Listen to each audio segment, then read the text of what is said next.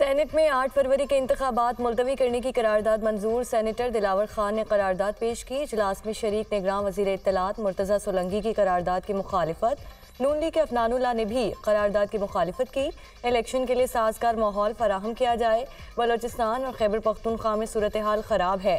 मौलाना फजल रहमान और मोहसिन दावर पर हमले हुए। अहमद वली खान और दीगर सियासी रहनुमाओं को थ्रेट्स मिले हैं। कई इलाकों में शदीद सर्दी है। आठ फरवरी का इलेक्शन शेड्यूल मअतल किया जाए। करारदाद में मुतालबा, करारदाद की मंजूरी के वक्त सौ अरकान के ऐवान में सिर्फ़ चौदह सेनेटर्स मौजूद थे। पीपल्स पार्टी के बहरमन तंगी और पी टी आई के गुरदीप सिंह खामोश रहे।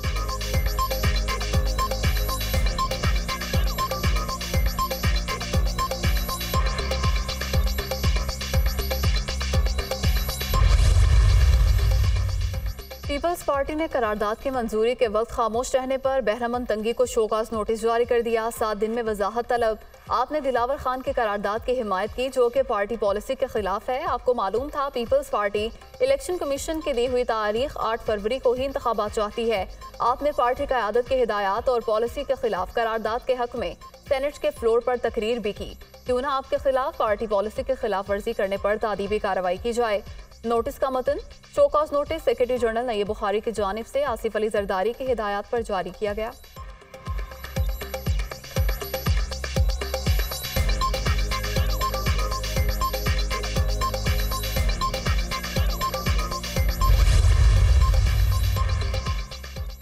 सेनेट में कौरम की निशानदेही न करने पर सेनेटर गुरदीप सिंह को भी इजहार वजूह का नोटिस जारी। नोटिस पीटीआई के मरकजी सेक्रेटरी जनरल उमर अयूब की जानब से जारी किया गया। तीन रोज में तहरीरी जवाब तलब, करारदाद के मौके पर उसकी मुखालफत और मंजूरी के दौरान कौरम की निशानदेही क्यों नहीं की? नोटिस का मतन।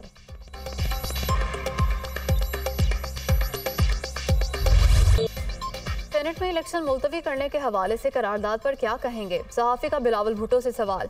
इलेक्शन वक्त पर होंगे बिलावल भुट्टो का जवाब। ट्रिमन पीपल्स पार्टी की जानब से लाहौर के हल्का एक सौ सत्ताईस में इंतबी मुहिम जारी। पाकिस्तान में कोई भी तनख्वाह में गुजारा नहीं कर सकता। इकतदार में आकर तनख्वाहें डबल करेंगे 300 यूनिट तक बिजली मुफ़्त देंगे, गाली गलोच और इंतकाम की सियासत नहीं करते, पीपल्स पार्टी का फोकस मुल्क की तरक्की पर है, बिलावल भुट्टो का खिताब।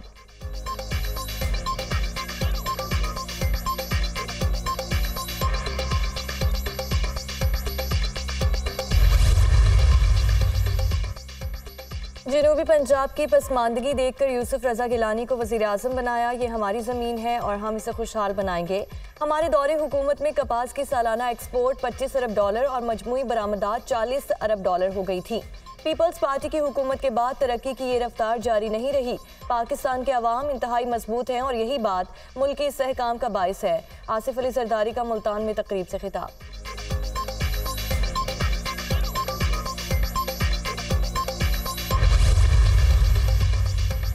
पीपल्स पार्टी ने सिंध और बलोचिस्तान में कौमी और सूबाई हलकों के उम्मीदवार फाइनल कर लिए। आसिफ अली जरदारी एन ए दो सौ सात, शहीद बेनजीराबाद से उम्मीदवार होंगे। बिलावल भुट्टो एन एक सौ चौरानवे, लाड़काना एन एक सौ छियानवे, कंबर शहदादकोट से पीपल्स पार्टी के उम्मीदवार।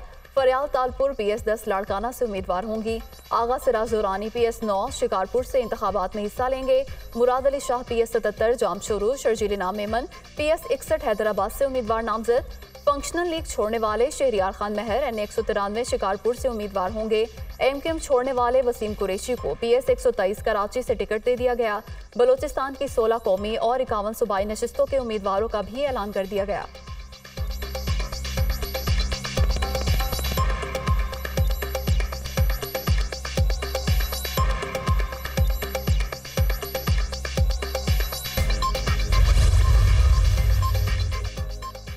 एन ए दो सौ चौदह थरपारकर से शाह महमूद कुरैशी के कागजात मंजूर। ट्राइब्यूनल ने एन ए दो सौ चौदह से शाह महमूद के साहबजादे जैन कुरैशी के कागजात भी दुरुस्त करार दे दिए।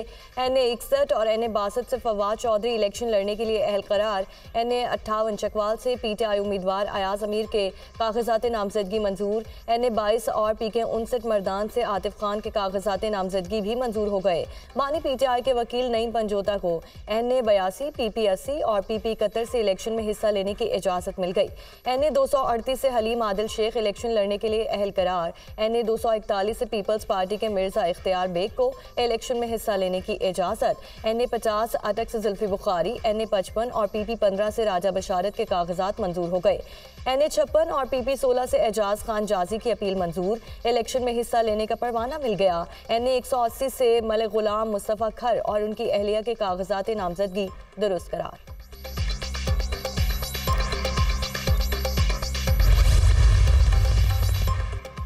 कागजात नामजदगी, मंजूर या मुस्तरद करने के खिलाफ अपीलों पर फैसलों में चार रोज बाकी। मजीद तीन जजेस को बतौर इलेक्शन अपीलेट ट्रिब्यूनल तैनात कर दिया गया।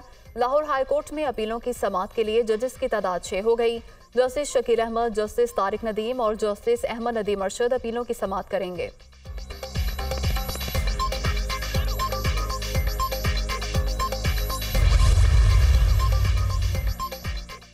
तोशा खाना और 190 मिलियन पाउंड रेफरेंसेस का मामला, एहतसाब अदालत के जज मोहम्मद बशीर आज अडयाला जेल में समात करेंगे। बानी पीटीआई की जमानत बादस गिरफ्तारी की दरखास्तों पर भी अडयाला जेल में ही समात होगी। बुशरा बीबी की जमानत कबल इस गिरफ्तारी दरखास्तों पर भी समात आज शेड्यूल।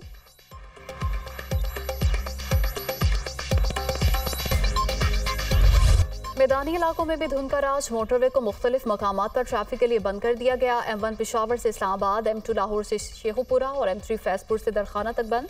एम फोर मुल्तान से पिंडी भट्टियाँ, एम एलेवन लाहौर से सियालकोट, एम फोर्टीन हकला से फतेहार तक बंद कर दी गई।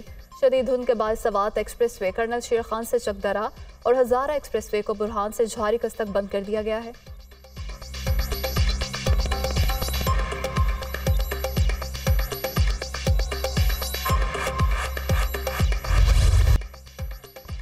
गैर कानूनी अफगान बाशिंदों की वतन वापसी का सिलसिला जारी, गुजशत रोज एक हज़ार चार गैर कानूनी तौर पर मुकीम अफगान वापस चले गए। पाकिस्तान से अब तक चार लाख साठ हज़ार एक सौ अट्ठासी अफगान बाशिंदों की वतन वापसी हुई। तोरखा और चमन बॉर्डर से गैर मुल्कियों का इनखला हो रहा है।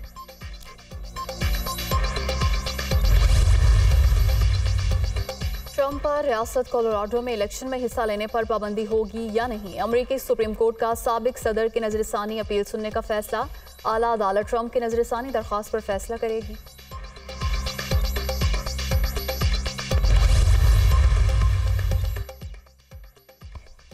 डोनाल्ड ट्रंप की मुश्किलात में इजाफा। अदालत ने सिविल फ्रॉड के मुकदमे में ट्रंप के खिलाफ जुर्माने की रकम 250 मिलियन डॉलर से बढ़ाकर 370 मिलियन डॉलर कर दी। सबक अमरीकी सदर पर इख्तियार का गलत इस्तेमाल करके बैंक्स और बीमा कंपनी से माली फवायद हासिल करने का जुर्म साबित हुआ। Attorney general Letitia James. Donald Trump इकतदार में आने के लिए अमरीकी जमहूरियत को कुर्बान करने पर तुले हुए हैं।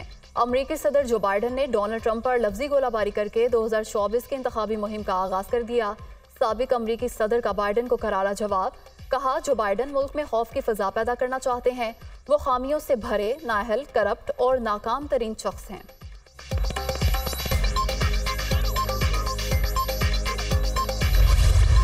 हमास इसराइल जंग से होनी फोर्सेस की बरबरीत, जनूबी और वसी गजा में फसाई हमले, खान यूनस के अल अस्पताल के करीब बमबारी में दस फलस्तीनी शहीद, मगरबी किनारे में सहोनी फोर्सेस के हमलों में एक फलस्तीनी शहीद, सात शदीद जख्मी हो गए, एक दिन में एक सौ बासठ फलस्तियों को शहीद कर दिया गया। गजा जंग में अब तक सात हज़ार फलस्तनी लापता, बाईस हज़ार छः सौ शहीद, सत्तावन हज़ार नौ सौ दस जख्मी हुए। गजा में उन्नीस लाख फलस्तनी बेघर हो चुके। अकवा मुतहदा की रिपोर्ट।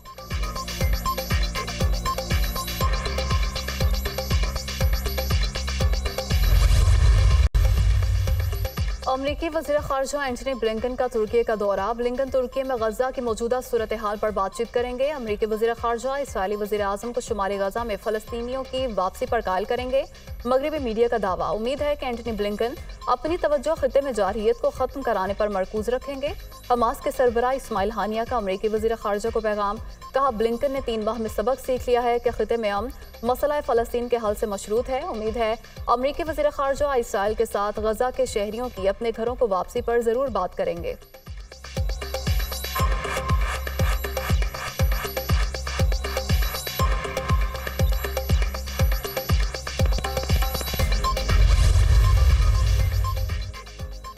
एंटनी ब्लिंकन इसराइली हुकाम के साथ गजा में इंसानी हमदर्दी की बुनियाद पर इमदाद की फरहमी को यकीनी बनाने और जंग में आम शहरीों की हिफाजत पर बात करेंगे।